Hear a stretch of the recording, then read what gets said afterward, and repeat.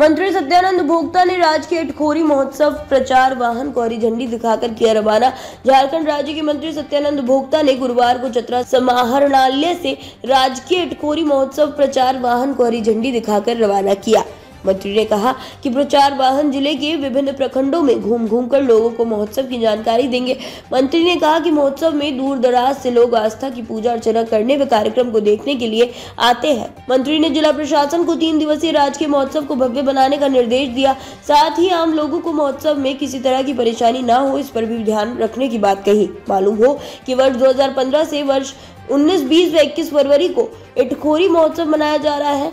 मौके पर उपायुक्त अबू इमरान, डीडीसी उत्कर्ष गुप्ता, अपर समाहर्ता पवन मंडल समेत कई पदाधिकारी उपस्थित थे। तीन दिवसीय माँ भद्रकाली राजकीय महोत्सव शुभारंभ होने जा रहा है, उन्नीस, बीस, इक्कीस, तीन दिन।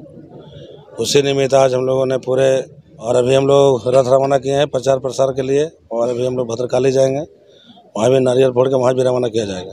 जितने हमारे समाज सेवी जिला प्रशासन किस तरह से संचालन होगा कौन कौन कलाकार आ रहे हैं, कौन अतिथि आ रहे हैं, कैसे होगा, इसके विषय में हम लोग सब बैठक किए और धूमधाम से महोत्सव मनाया जाएगा।